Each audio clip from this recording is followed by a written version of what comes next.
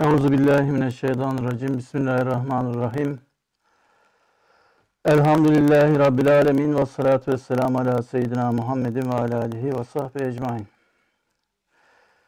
Bugünkü dersimizin konusu ateizmin panzehiri yani dinsizliğin ilacı. Nedir? Şöyle bir ifade geçiyor. İman abı hayatına muhtaç, pek çok biçare gönüllere panzehir hükmünde olan devalar. Risale-i hakikatler, panzehir hükmünde devalar. Yine beşinci mektupta üstadımız Esrar-ı Kur'aniye'ye ait yazılan sözler şu zamanın yaralarına en münasip bir ilaç.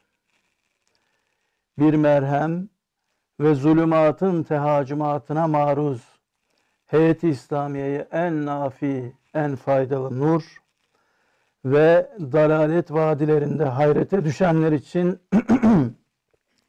en doğru bir rehber olduğu itikadındayım buyuruyor.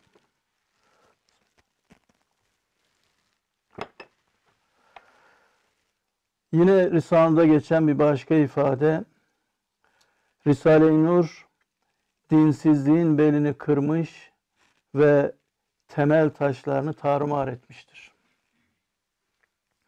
15. şuada yine benzer bir ifade var. Sarsılmaz bir iman isteyen ve dinsiz anarşistliğe karşı kırılmaz bir kılıç arayanlar Ayetül Kübra'ya müracaat etsinler. Emirdağ arkasında ise Risale-i Nur hariçten hücum eden küfrü mutlaka karşı bu milleti ve alemi İslamiyeti muhafaza edecek, Kur'an-ı Hakim'in mucize-i maneviyesinden bir derstir ki, dinsiz filozoflardan hiçbirisi ona karşı mukabele çaresi bulamadılar. Dinsizler ona karşı koyacak ellerinde bir güç, fikri bir kuvvet bulamadılar. Mesnev-i Nuriye'de yine çok orijinal bir ifade.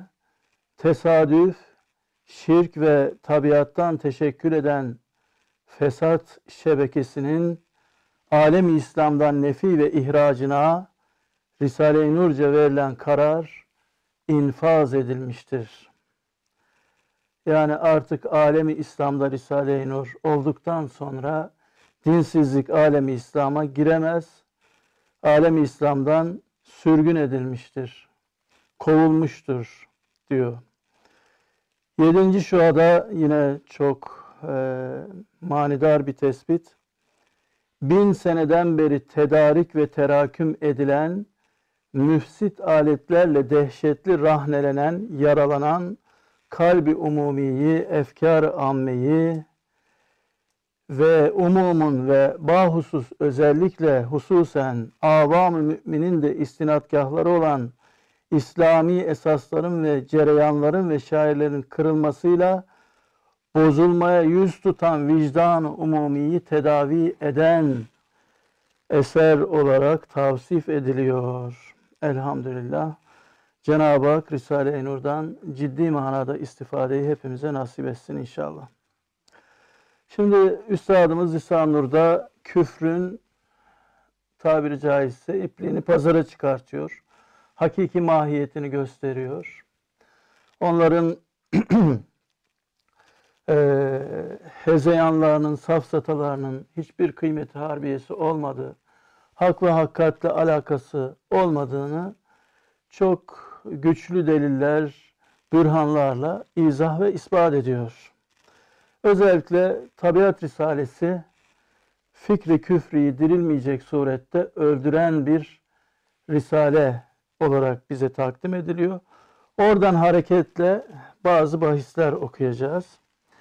Bu dinsizlerin, bunların meslekleri, e, meşrepleri gereği dinsizliğe kılıf uydurdukları üç tane fikirleri var.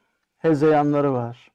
Bunlardan birincisi hadisat, işte mahlukat, Allah'ın yarattığı, e, Allah'ın kanunlarıyla, Allah'ın esmasının tecellisiyle vücuda gelen şeyleri kendi kendine oldu diye ifade ediyorlar ki bu püsküllü bir yalandır. Çünkü hiçbir şey kendi kendine olmaz. Çünkü olmayan bir şey kendini nasıl yapsın? Mesela diyelim ki şu kitap yoktu. Bir zaman sonra bu kitap olmayı murad etti. Sonra kendisini icat etti, yarattı demek gibi böyle bir safsata, kendi kendine oldu demek. Mesela kağıda bakıyoruz. Kağıtta diyelim ki Ahmet ismi yazıyor. Şimdi bunu onların düşünceleri itibariyle baktığımızda kendi kendine yazıldığını ifade ediyorlar. Kağıttaki Ahmet ismi kendi kendine yazıldı. Fakat buna kendileri de inanmıyorlar. Bir kelime bile kendi kendine yazılmıyorsa o Ahmet'in kendisi yani canlı, hayattar, yani duygu sarayı olan, işte ağlayan, gülen, düşünen, özleyen, seven, gözyaşı döken icabında planları, hayalleri, endişeleri olan, böyle kainatla alakadar, güneş sistemiyle alakadar, vücudundaki hücreler, azal organlar sürekli yenilenen, nefes alan, çalışan, kan damarlarında nehirler dolaşan, bu canlı insan hiç kendi kendine olabilir mi? Hele bir kitabın yazılması kendi kendine hiç olmaz. Hasreten özellikle bir noktada bir kitap yazılıyorsa bu asla kendi kendine olmaz. Allah çekirdek noktasında ağaç kitabını yazıyor. Allah bir damla su nokta mahiyetinde olan bir damla suda insan kitabını yazıyor. İşte dolayısıyla bu kendi kendine olduğu ifadesi tamamen büyük bir yalan, büyük bir iftiradır.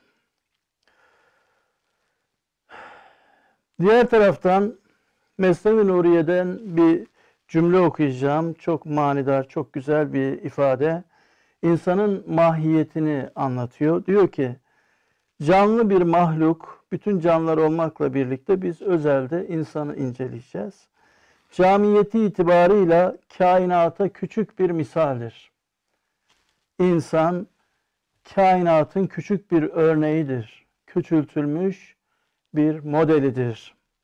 Şecere-i aleme, alem ağacına güzel ve tatlı bir meyvedir. Ken ve vücuda bir nüvedir ki Cenab-ı Hak o nüvede pek çok alemlerin örneklerini derc etmiştir. İnsana baktığımızda kainatın küçük bir modeli. Misali musaggar diyoruz. Veya işte kainatı küçülttüğümüzde insan, insanı büyüttüğümüzde kainat oluyor. Onun için insana kainatı sura, kainata da insanı ekber denilmiş. Nasıl bir model? Mesela insan, insanın kemikleri, etleri, dağlar, taşlar ve toprakların, damarları nehirlerin, saçları ve kılları ormanların, demir, çinko, bakır gibi vücudundaki unsurlar, kainata gelmiş elementlerin misali musavvarıdır, küçük bir modelidir. Maddi aleme bir model olduğu gibi manevi alemlere de modeldir insan. Mesela nefsi şeytandan haber veriyor. Meleki ilham meleklerden, hafızası levh-i mahfuzdan haber veriyor. Kalbi arştan, aklı kürsüden, hayali alemi misalden haber veriyor. Öyleyse bu insan başıboş tesadüfen kendi kendine vesaire olması muhal, imkansız ötesi imkansızdır ki insanı yaratan kainatı hatta mana alemlerini, ahiret alemlerini de yaratandır. Kendi kendine oldu demek püsküllü yalandır dedik ya. Üstadımız da diyor ki bir cümle küfür bütün envaıyla kisptir, yalancılıktır. Hutbe-i Şamiye'de geçiyor bu ifade. Bir de onların sığındıkları yine bir fikir var ki daha doğrusu fikirden hezeyan bize göre tabiat perestlik. Bunu da üstadımız büyük bir cehalet olarak tavsif ediyor. Feya Subhanallah. Yani çok şaşkınlık derecesinde bir ifade. Subhanallah. Şaşırdığımızda Allah'ı takdis etme manasında kullanıyoruz. Feya Subhanallah. Zındık maddiyunlar bir vacibül vücudu varlığı zorunlu olan eğer haşa yani onun yokluğu düşünülse kainatta bir zerrenin varlığından bahsedilemez.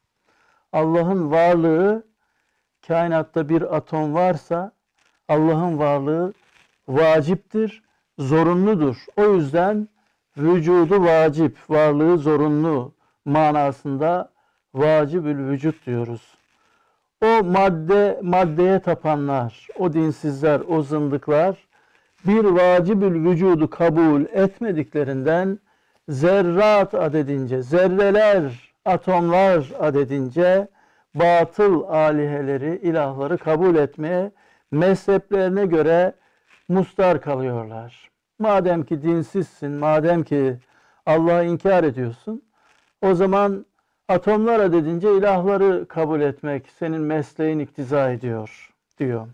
İşte şu cihette münkir, kafir, ne kadar filozof olsa, alim olsa, profesör, ordinarius profesör de olsa nihayet derecede bir cehli azim, büyük bir cehalet içindedir.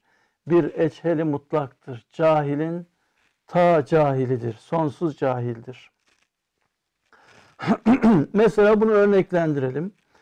Bir saksı toprakta nebatat adedince fabrikaların varlığını kabul etmek gerekir. Dinsiz felsefe, tabiat perest felsefenin bakış açısı bu. Çünkü bir saksı toprakta ne kadar bitki varsa orada filizlenip yeşillenme e, hadisesi gerçekleşiyor. Ne kadar bir milyon tür bitki var diyorlar. Bir milyon tür fabrika olması lazım. Çünkü her bitkinin özellikleri farklı. Mesela gül, dut, incir, karpuz, fasulye, domates nöbetleşe konulduğu zaman bir saksıya hepsi oradan çıkar, filizlenir. Hepsi olur Allah'ın izni inayetiyle.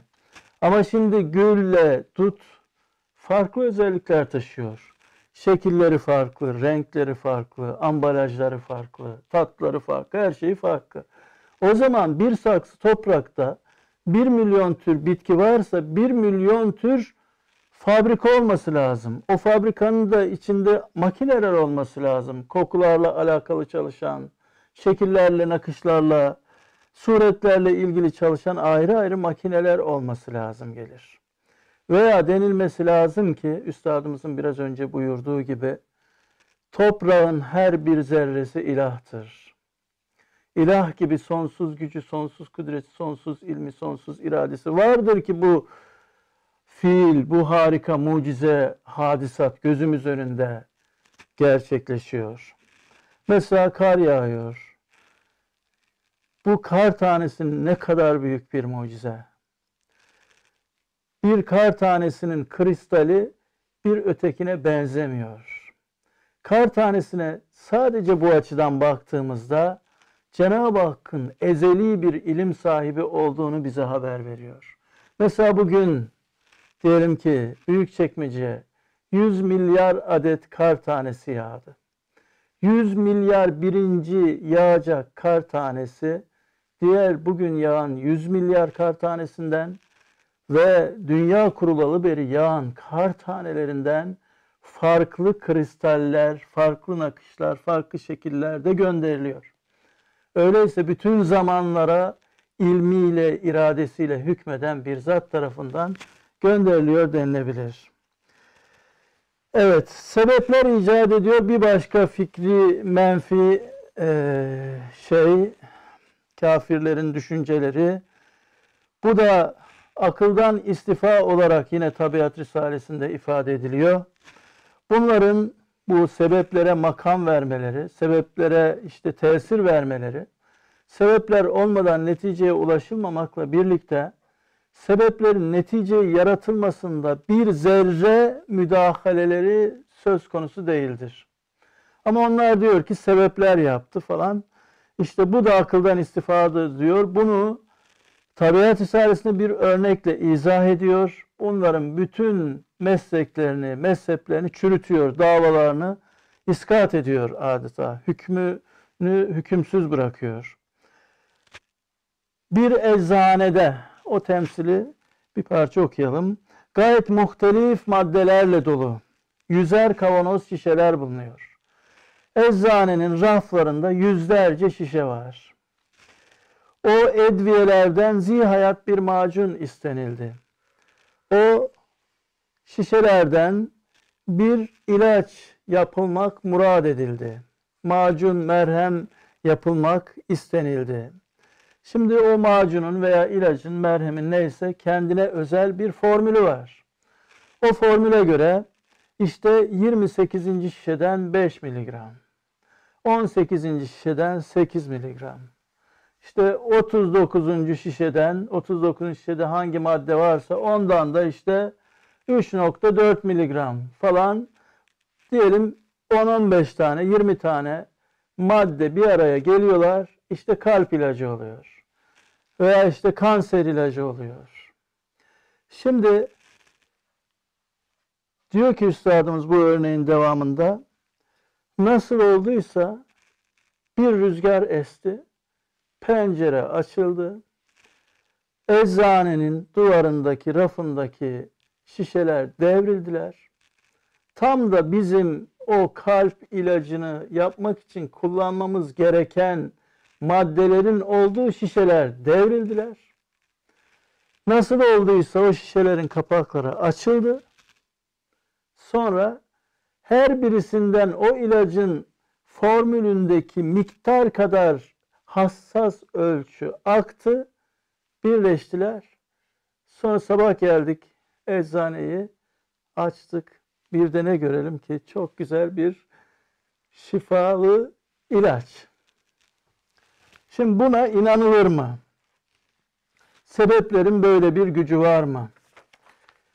Bir ilacın kör tesadüfle, şuursuz sebeplerle, ilacın muhtevasındaki maddelerin olduğu şişelerin devrilmesi, rüzgarın esmesi vesaireyle, vesaire sebeplerle yapıldığı ifade edilebilir mi? Yani asla bu mümkün değil. İşte üstadımız diyor ki bir bitki de aynen o ilaç gibidir. Bir hayvan da aynen o ilaç, bir insan da aynen onun gibidir. Çok hassas, çok özel, çok dakik ölçülerle, dengeyle, mizanla her aza ve cihazatı yaratılmıştır. Mesela insan dediğimizde bu özel ölçüyle alakalı aldığım notlarda çok enteresan bir tespit var. Diyor ki vücudumuzda demir, magnezyum, bakır, krom, mangan gibi 60'a yakın element var. 60'a yakın element var. Bu elementler çok özel ölçüyle vücudumuzda bulunuyor. Allah öyle yaratıyor. Öyle hizmet ettiriyor onlara. Eğer bunların azlığı ve çokluğu olursa vücutta arızalar, vücutta muhtelif hastalıklar vuku buluyor. Mesela bakırda, bakır elementinde kan yapıcı özellik var. Eğer bakır vücudumuzda eksik olursa sinir hastalıkları görülüyor. Beyin fonksiyonlarını işletmekle de vazifeli elementin adı mangan. Bunun eksikliğinde de davranış bozuklukları görülüyor.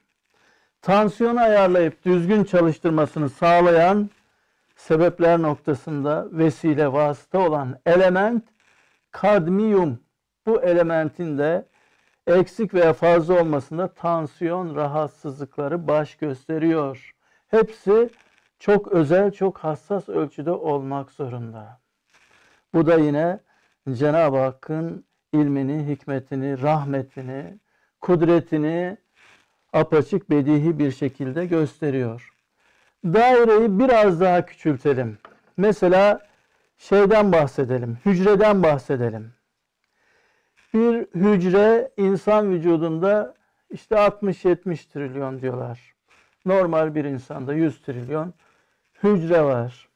Hücrenin içerisinde 200 bin çeşit protein varmış. 200 bin çeşit protein var. Protein de amino asitlerden oluşuyor diyor bilim. Proteinlerin en basitleri 50 adet amino asitten oluşabiliyor ama binlerce amino asitin yan yana gelmesinden de proteinler oluşabiliyor. Yani Allah onları birleştirip proteini yaratıyor daha öz bir ifadeyle. Mesela bileşiminde 12 farklı amino asit türünden olan ortalama büyüklükteki bir proteinin e, amino asitlerinin diziliş şekli var. Diziliş şekillerinin ihtimali ne kadar? Kaç ayrı şekilde diziliyor? Ortalama işte bir e, protein molekülü. Bunun içindeki amino asitler 10 üzeri 300 adedince farklı dizilebiliyor. 10 üzeri 300 demek onun yanına 300 tane rakam yazmak demek. Ya da şöyle ifade edeyim. 10 çarpı 10 100 100 çarpı 10 10 10 10 300 tane 10 yazıyorsunuz. Hepsini çarpıyorsunuz. Çıkan rakam. İşte bu bu kadar o amino asitlerin dizilim adedi var ama sadece bir tanesi var ki ancak öyle dizilirse amino asit oluyor. 10 üzeri 300 yani 300 basamaklı hatta 301 basamaklı çok büyük bir ihtimal sayı. Bunun içinden sadece bir ihtimal var ki amino asit olabilsin. O dizilimde hata olursa ya olmuyor ya da zararlı, sıkıntılı bir hale geliyor.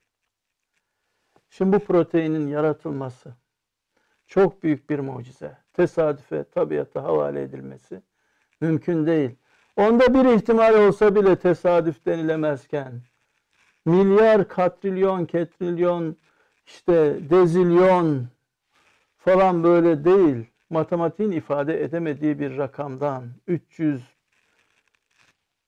301 basamaklı bir rakamdan bahsediyoruz ki bu kadar ihtimalden bir ihtimal sadece gerçekleşiyor.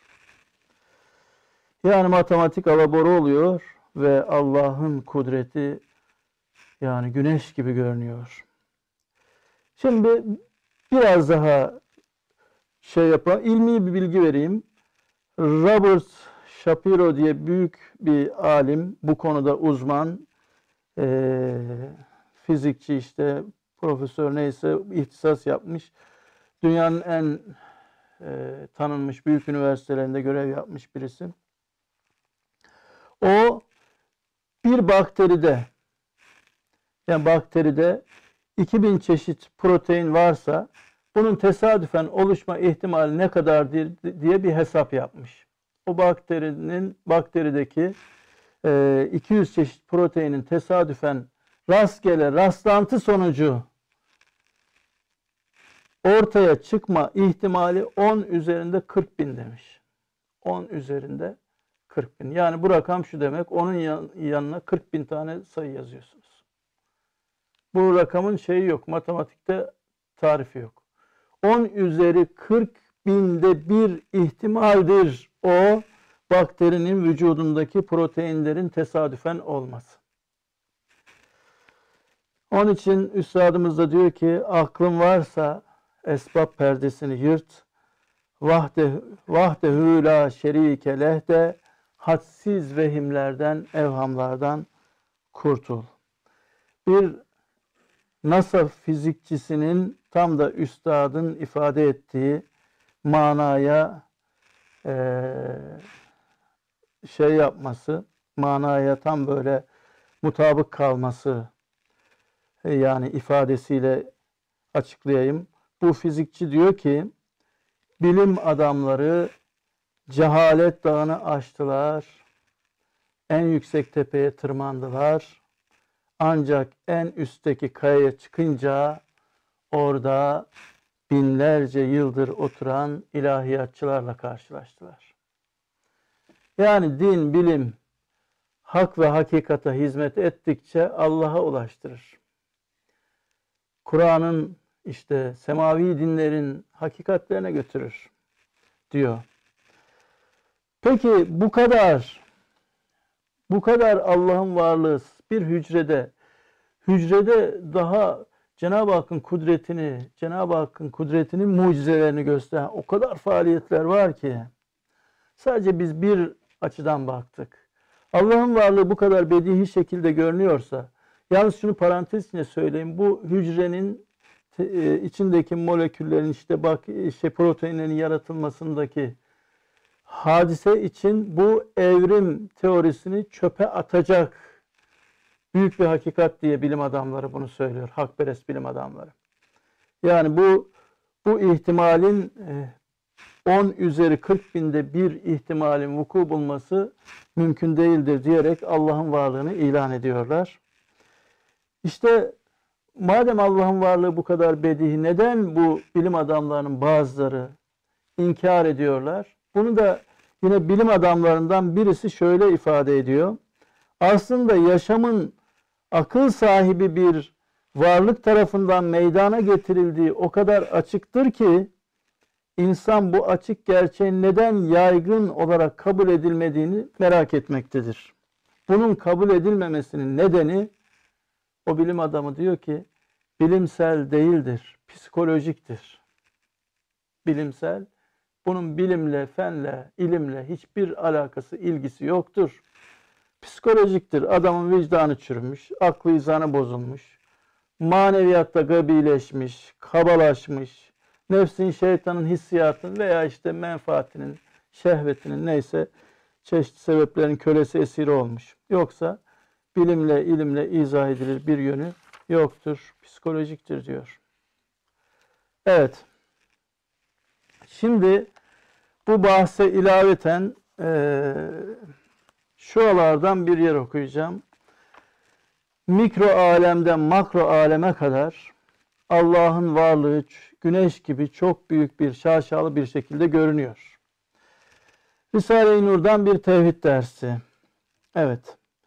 Bismillahirrahmanirrahim. Tusebbihu lehus semavatu seb'u vel ard ve men fihin ve in min şeyin illa yusebbihu bihamdihi velakin la velakin la tefkahune tesbihahum innehu kâne halimen gafura. Bu ayet-i muazzama gibi pek çok ayeti Kur'aniye bu kainat halikini bildirmek cihetinde her vakit ve herkesin en çok hayretle bakıp zevk ile mütalaa ettiği en parlak bir sahife-i tevhid olan Allah'ın varlığını ve birliğini gösteren çok parlak sayfa olan semavatı en başta zikretmesinden en başta ona başlamak muvafıktır. Evet bu dünya memleketine ve misafirhanesine gelen her bir misafir gözünü açıp baktıkça görür ki gayet keremkârane bir ziyafetgah, son derece ikramperver, keremkar bir zat, ihsanlarını, ikramlarını sergiliyor. Bu dünyadaki misafirhanedeki misafirlerine gayet keremkârane bir misafirgah, misa, ziyafetgahtır bu dünya memleketi. Sonra bir başka açıdan bakıldığında gayet sanatkârane bir teşhirgahtır. Elma bir nimettir. İşte meyveler nimettir, ziyafettir ama Allah onları kaba saba, kokmuş, çürük, ne bileyim bizim hoşumuza gitmeyecek şekilde değil. En güzel sanat eseri haliyle yaratıyor, soframıza koyuyor.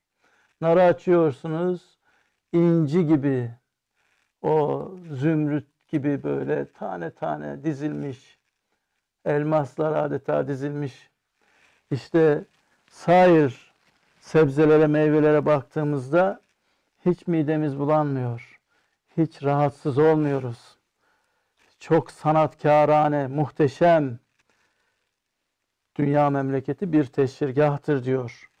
Ve gayet şevkengizane bir seyrangah ve temaşagah, gayet hayretkârane, son derece hayret edilmesi gereken her zerresi, her hali, her sanatı mucize olan, mucize olan bir seyrengah ve temaşagah ve gayet manidarane ve hikmet perverane bir mütalagah olan bu güzel misafirhanenin sahibini ve bu kitabı kebirin, kainat kitabının müellifini, bu muhteşem memleketin sultanını tanımak ve bilmek için şiddetle merak ederken bizim dünya gönderiliş gayemiz bu. Merak etmeliyiz. En başta göklerin nur yaldızı ile yazılan güzel yüzü görünür. Bana bak, aradığını sana bildireceğim der. O da bakar görür ki bir kısmı semavata bakıyoruz. Orada tevhid hakikatini bize nasıl izah edecek? Bir kısmı arzımızdan yani bu küremizden, dünyadan bin defa büyük ve o büyüklerden bir kısmı top güllesinden 70 derece süratli yüz binler ecram-ı semaviyeyi yüz bin değil, yüz binler, milyarlar semavi yıldızları direksiz düşürmeden durduran, birbirine çarpmadan fevkal hat, yani çok harikulade, haddin çok üzerinde, çabuk ve beraber gezdiren, yağsız, söndürmeden, mütemadiyen sürekli o hadsiz lambaları yandıran, ve bu küre arzdan bin defa, binlerce defa büyük olan bu süratli semavi yıldızları hiçbir gürültü ve ihtilal çıkartmadan o nihayetsiz büyük kitleleri, kütleleri idare eden ve güneş, güneş ve kamerin vazifeleri gibi yani güneş ve kamer nasıl hiç saniye şaşmadan vazifesini yapıyor. Hiç isyan ettirmeden o pek büyük mahlukları, o galaksileri, o gezegenleri, o yıldızları vazifelerle çalıştıran ve iki kutbun dairesindeki hesap rakamlarına sıkışmayan bir nihayetsiz uzaklık içinde aynı zamanda aynı kuvvet, aynı tarz, aynı sikke fıtrat, aynı surette beraber noksansız tasarruf eden o pek büyük mütecaviz aslında bir tanesi şöyle bir aralarında bir çarpışma olsa kainatta büyük bir infilak olacak. Yani bizim dünya dediğimiz şey uçsuz bucaksız çölde bir kum tanesi bile değil yani onların onlara kıyas edilsin. Bu mütecaviz kuvvetleri taşıyanları tecavüz ettirmeden kanununa itaat ettiren, o nihayetsiz kalabalığın enkazları gibi göğün yüzünü kirletecek süprüntülere meydan vermeden semavatta da her yeryüzünde Allah Kuddüs ismiyle mesela ormanları, okyanusları temizlediği gibi semavatta da bir temizlik söz konusu. Göğün yüzünü kirletecek süprüntülere meydan vermeden pek parlak ve pek güzel temizlettiren ve bir muntazam ordu manavrası gibi manevra ile gezdiren o milyarlarca yıldız çok süratli ve seri bir şekilde hareket ediyor. Ve arzı döndürmesiyle o haşmetli manevranın başka bir surette hakiki ve hayali tarzlarını her gece ve her sene sinema levhaları gibi seyirci mahlukatına gösteren bir tezahür rububiyet. Yani Allah kainatı nasıl terbiye ettiğini, nasıl idare ettiğini, o dünyadan binlerce büyük kütlelerde nasıl tasarruf ettiğini bize gösteriyor. O rububiyet faaliyeti içinde görünen tesir, tedbir, tedbir, tanzim, tavzif, tavziften mürekkep bir hakikat. Yani dünyadan milyonlarca büyük olan güneş, güneşten milyonlarca büyük olan gezegenler Allah'ın kudretine boyun büküyor. Onları Onlar Cenab-ı Hakk'ın tedbir, tasarrufu dairesinde hareket ediyor, tedbir ediyor, dönüyor, tanzim ediyor, tanzif ediyor. Oralarda işte semavatta bir kirlilik olmuyor. İşte kara delikler ölen gezegenleri yutuyor, ölen yıldızları yutuyor. Ve tavzif hepsi vazifeli emredildiği istikametten, mihverden bir adım şaşmadan e, emir istikameti dahilinde hareket ediyorlar. İşte bu hakikat diyor Cenab-ı Hakk'ın vücuduna, varlığına, vahdetine, birliğine ve mevcudiyeti ve Allah'ın varlığı semavatın mevcudiyetinden daha zahir bulunduğuna şehadet eder diyor. Yani Allah'ın varlığı semavatın varlığından daha açıktır. Semavatın varlığını kabul ediyorsan Allah'ın varlığını kabul etmeye mecbursun diyor. Şimdi buradan ben birkaç tanesini yine bilimin ifade ettiği hayret edilecek rakamlar e, söylemek istiyorum son olarak. Yani Allah'ın kudretinin azameti, nihayetsizliği, sonsuzluğu. Subhanallah. Çok büyük ya. Allah çok büyük. Allahu Ekber. Bir kısmı arzımızdan bin defa büyük dedik ya. Mesela Betaklus diye bir yıldız var. 250 güneş büyüklüğünde. Dünyamızdan 325 milyon daha büyük. Yani onun içine 325 milyon tane güne şey dünya sığabiliyor. Bir yıldız. Bu nasıl bir sonsuz bir güç, nasıl bir kudret? Bunu idare ediyor. Zerre yolundan şaşmıyor. Emre itaatsizlik yapmıyor. Bu büyük kütle.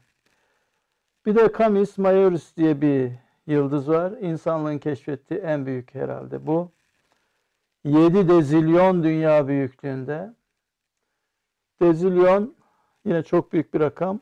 7'nin yanına 33 tane sıfır yazıyorsunuz. Ona dezilyon deniliyor. İşte 7 dezilyon dünya o yıldızın içine sığabiliyor.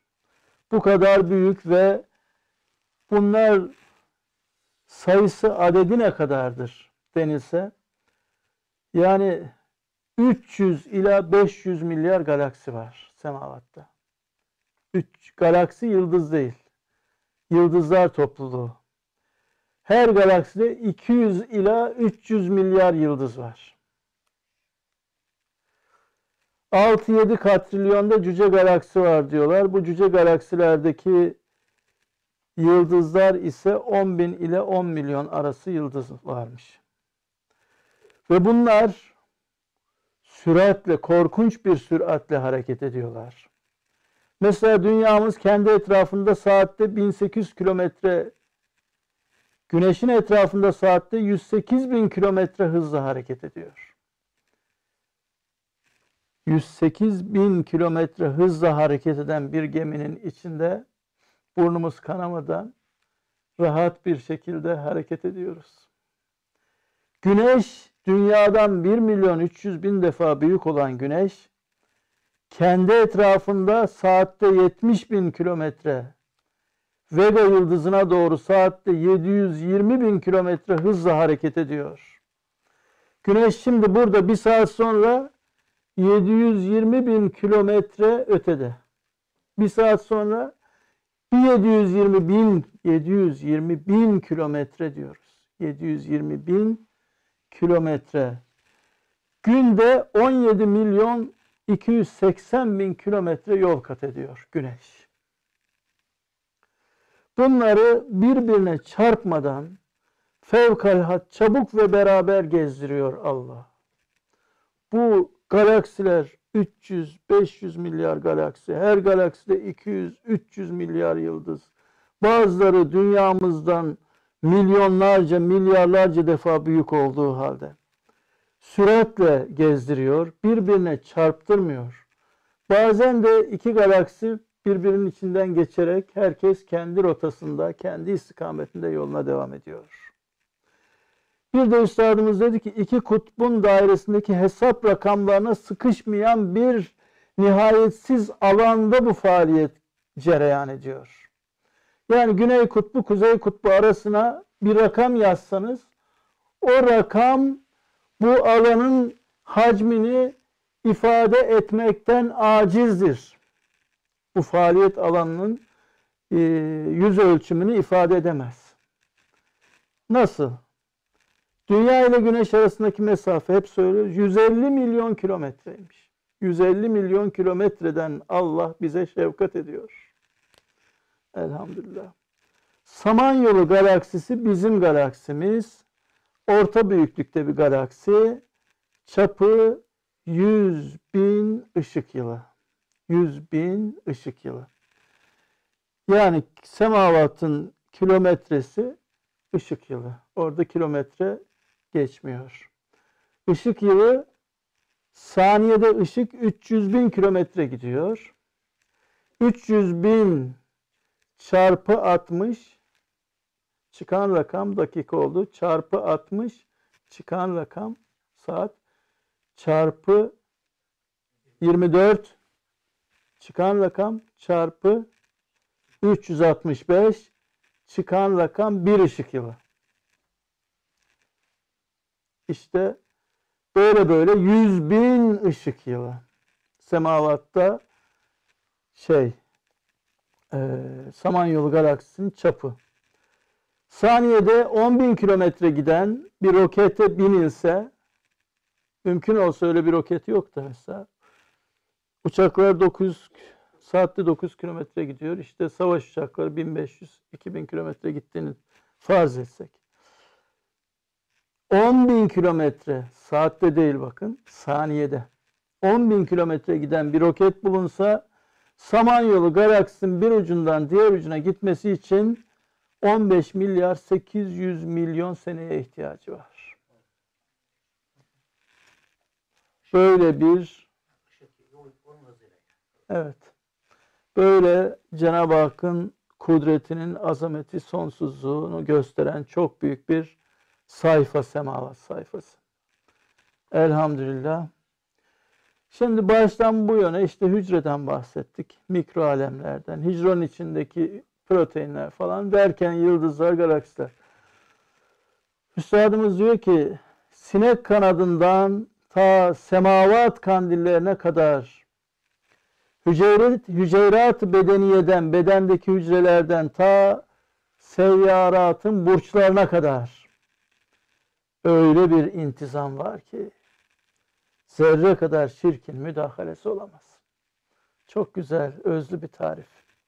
Sinek kanadından ta semavat kandillerine kadar, hüceyrat bedeniyeden ta seyyaratın burçlarına kadar öyle bir intizam var ki zerre kadar şirkin müdahalesi olamaz.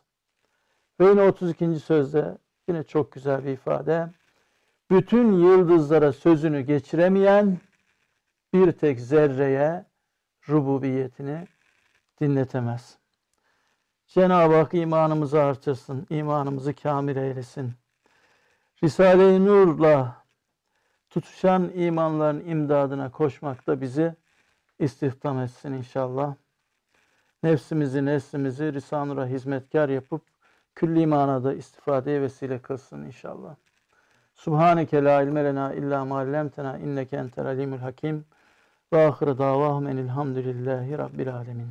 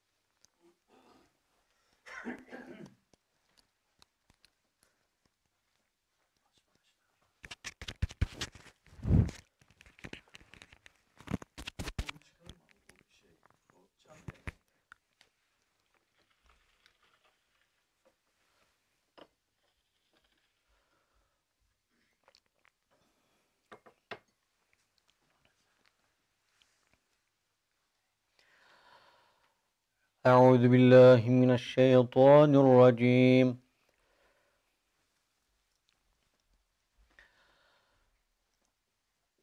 بسم الله الرحمن الرحيم.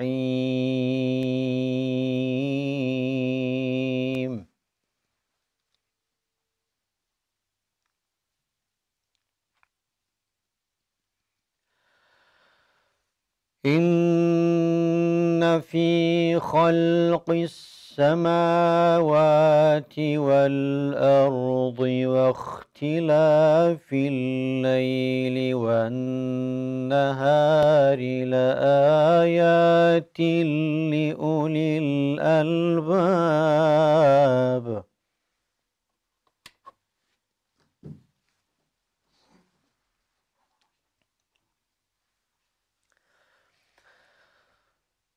إن في خلق السماوات والأرض واختلاف الليل والنهار لآيات لأولي الألباب.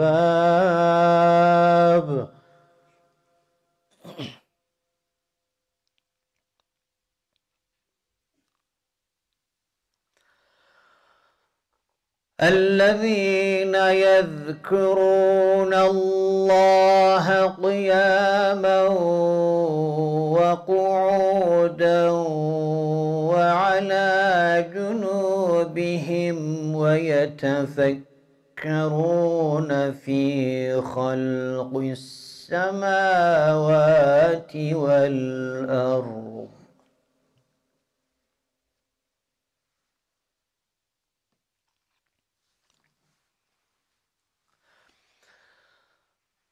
ربنا ما خلقت هذا باطلا.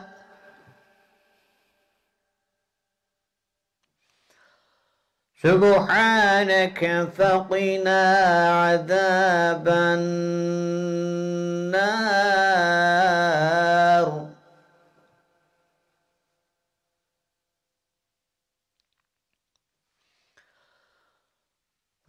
ربنا إنك من تدخل النار فقد أخزيته.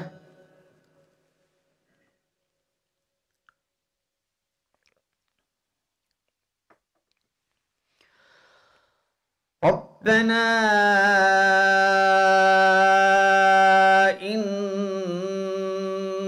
إنك من تدخل النار فقد أخزيته. وما للظالمين من أنصار.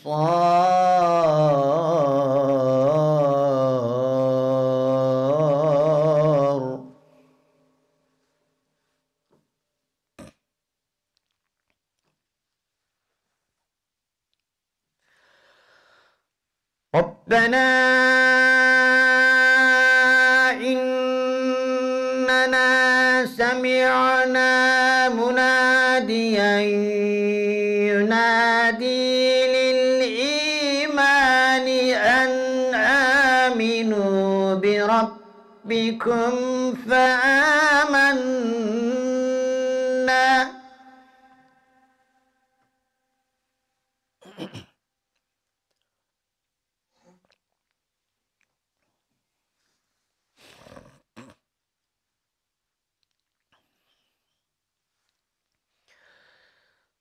ربنا فاغفر لنا ذنوبنا وكفر عنا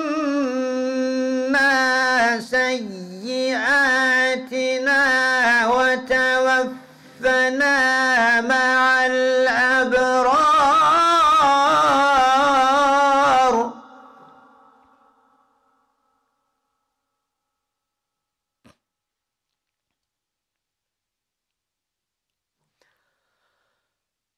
ربنا وآتنا ما وعدتنا على رسلك ولا تخزنا يوم القيامة. إنك لا تخلف الميعاد.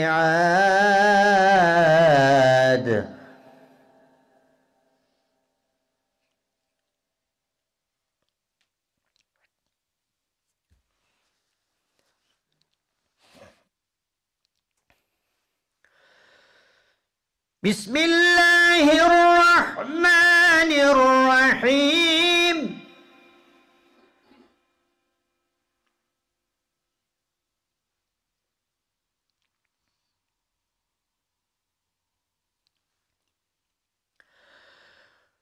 قل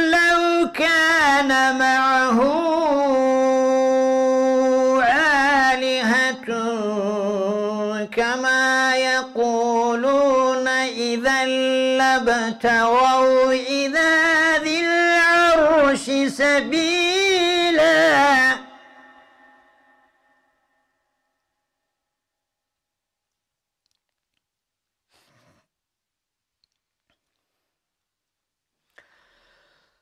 سبحانه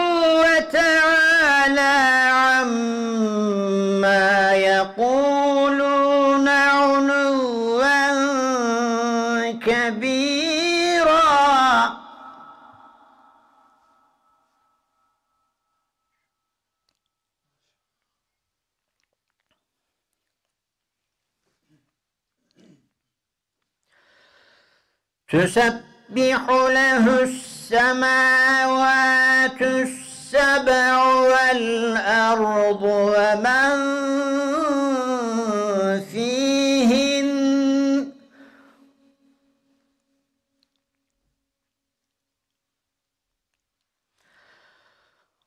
وإن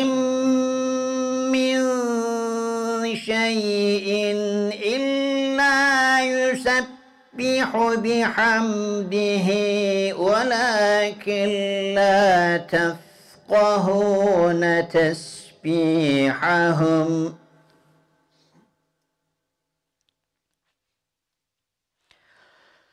إنه كان حليما غفورا. صدق الله العظيم. سبحان ربك رب العزة عما يصفون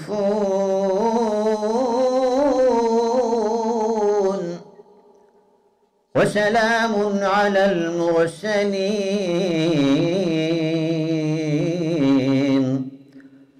والحمد لله رب العالمين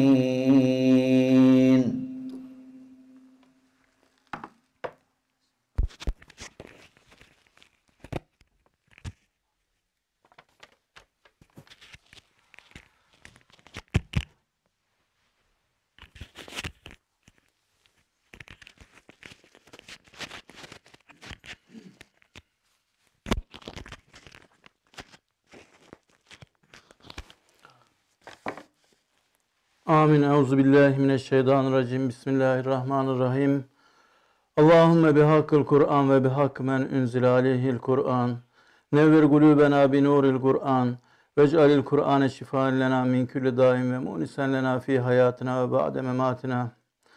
Allahümme ec'alhu lena fid dünya karina ve fil kabri munisa ve fil kıyameti şefi'a ve ale sıratı nura ve minen nar sitran ve hicaba ve ilel cenneti refika ve ilel hayrati külliha delilen ve imama. Bifadlike ve cudike ve keremike ve ihsanike ve rahmetike. Ya ekremel ekremin ve ya erhamar rahimin. Ve salli ve sellim ala men enzelt aleyhil Kur'an ve erseltehu rahmeten lil alemin. Amin velhamdülillahi rabbil alemin. Ya Rabbi ya Rabbes semavati vel aradin ya ilahel evveline vel ahirin Ey Rabbimiz okuduğumuz hatmi şerifleri dergah-ı izzetinde kabul eyle. Hatmi şeriflerle beraber okunan Yasinler, Fetih sureleri, salavat-ı şerifeler, tövbe istiğfarlar, esma ilahiler, kelime-i tevhidler vesaire evrat, eskarlar, iman Kur'an dersleri vesaire ibadetleri Ya Rabbi dergah izzetinde kabul eyle. Bunlardan hasıl olan sevabı evvela ve bizzat Efendimiz Aleyhisselatü Vesselam'ın mübarek muazzez ruhu tayyibelerini hediye eyledik. Ruhu Muhammedi Aleyhisselatü Vesselam bizden haberdar eyle. Efendimizin sünnet seniyyesine ittiba etmekte hissemizi ziyade eyle. Ahlakıyla ahlaklanmayı nefsimize, neslimize ikram eyle. Ya Rabbi hatmi şerifler ve sair ibadetlerden hasıl olan sevabı bütün enbiyanın aleyhisselam ervahına hediye eyledik. Ervah-ı enbiyayı bizden haberdar eyle. Yarın ruzi mahşerde onların şefaatlerine bizleri mazhar eyle. Tabi'in, sahabe-i kiramın, tabi'inin, te- tebe-i tabi'in, müceddit, müçtehit, muha- muhaddis, müfessirinin, ulemanın, füzelanın, şühedanın, şehitlerimizin, gazilerimizin ervahına hediye eyledik. Sen ulaştır ya Rabbi. Hasreten üstadımız Bediüzzaman Said Nursi'nin ve Dar-ı Beka'ya irtihal etmiş Risale-i Nur talebelerinin ruhlarına da hediye eyledik. Ve geçmişlerimizin ruhlarına hediye eyledik. Hasreten cemaatimizin geçmişlerinin ruhlarına hediye eyledik. Bütün ehli imanın, ehli İslam'ın ruhlarına hediye eyledik. Sen ulaştır ya Rabbi. Hasreten yakın zamanda rahmetine tevdi ettiğimiz Abdülkadir Hoca, Hacı Fikri Bayraktar, Abdülkadir Güvercin, İsmail Güngör, Hüseyin Aslan, Ahmet Tilgen, İsmail Köksal, Gönül Köksal, Ali Kaya, Hayrullah Altay, Nabi Mücen, Sıdıka Mücen, Mehmet İhsan Kılıç, İbrahim Kırbaş kullarının da ruhlarına hediye eyledik. Sen ulaştır ya Rabbi. Hasreten bu kullarına ya Rabbi sonsuz rahmetinle muamele eyle. Varsa günahlarını mağfiret eyle. Kabirlerini cennet bahçesinden bir bahçe eyle. Ya Rabbi hatmi şerifleri şefaatçi yapıyoruz. Hasta kardeşlerimize şifalar ikram eyle, ihsan eyle.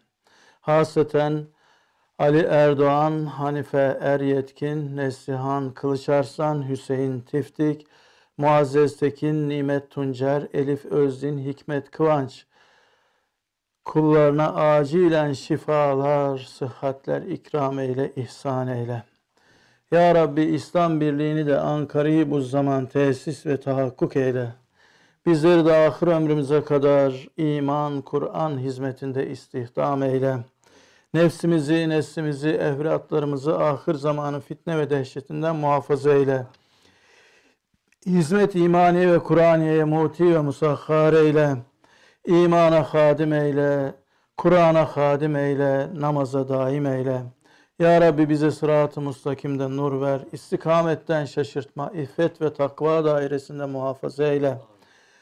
Dünyada son sözümüz, kabirde ve ahirette ilk sözümüz şu olsun. Eşhedü en la ilahe illallah ve eşhedü enne Muhammeden abduhu ve resulü. La ilahe illallah Muhammedur Resulullah. Amin amin. Allahümme la tuhricna mined dünya illa ma şehadet vel iman. Allahümme barik lena fi Recep ve Şaban ve bellina Ramazan. Amin. Allahümme salli ala seyyidina Muhammedin ve ala seyyidina Muhammed.